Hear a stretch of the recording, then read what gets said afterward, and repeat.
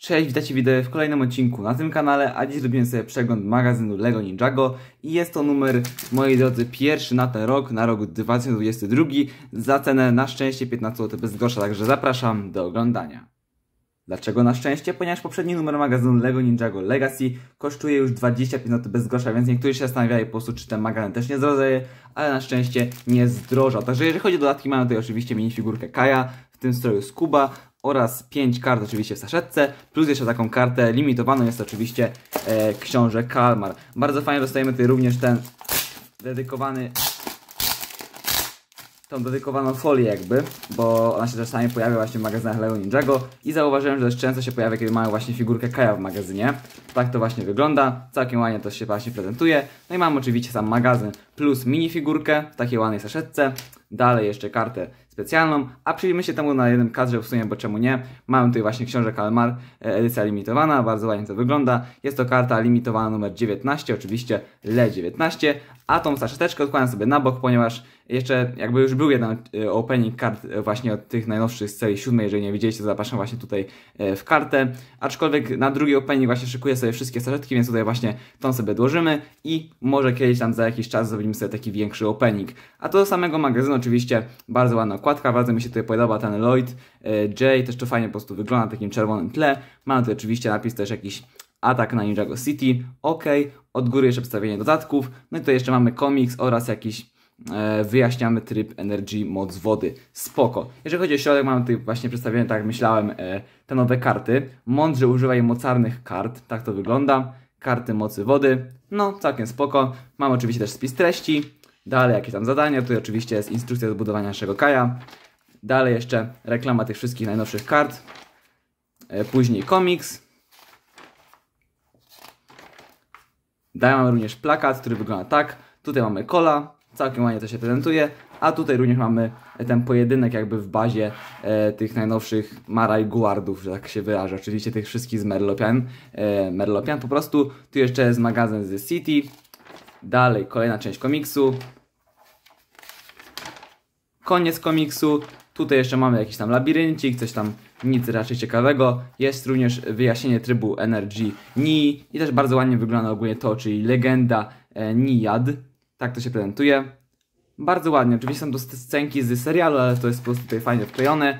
Tu jeszcze prace czytelników oraz chyba jakieś tam e, wyrywki z komiksu, ale najważniejszy jest kolejny numer magazynu, ponieważ otrzymamy tę minifigurkę. Moi drodzy, Ben Tomara. Już 22 lutego, całkiem fajna data, otrzymałem właśnie tą oto minifigurkę.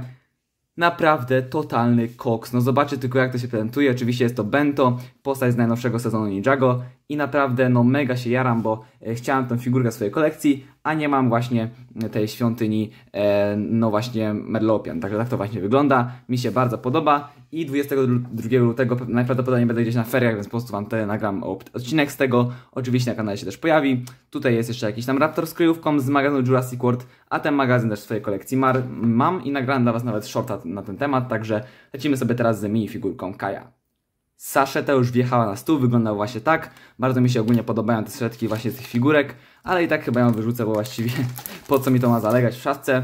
Ostatnio ogólnie zrobiłem sobie takie porządki, a naprawdę było tego masa, jeżeli chodzi o magazyny.